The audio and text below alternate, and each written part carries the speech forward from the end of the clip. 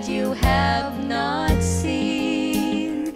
So in all things be my life and breath. I want what you want, Lord.